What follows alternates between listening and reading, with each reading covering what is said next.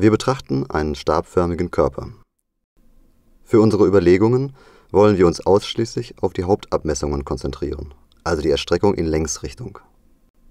Mithilfe eines Maßbandes kann die augenblickliche Stablänge L eindeutig ermittelt werden. Um den Einfluss der Temperatur des Stabes auf seine Länge näher zu untersuchen, benötigen wir ein Thermometer. Damit ermitteln wir eine anfängliche Stabtemperatur von 20 Grad Celsius. Nachdem die Anfangsbedingungen unseres kleinen Experiments festgestellt sind, können wir damit beginnen, die Temperatur des Stabes langsam zu erhöhen und die Veränderung der Stablänge dabei zu beobachten.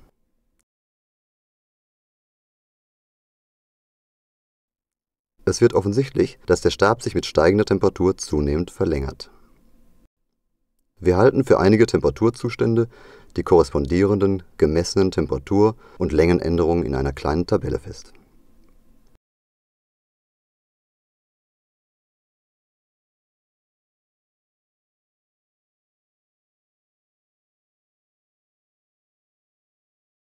Bei genauer Analyse aller erhaltenen Messergebnisse wird deutlich, dass ein proportionaler Zusammenhang zwischen der Temperatur und der Längenänderung vorliegt.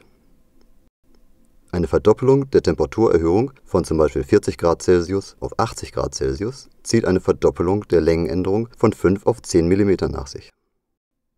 Dieser Art von Proportionalität werden Sie noch oft begegnen, denn sie trifft auf sehr viele technisch wichtige Materialien zu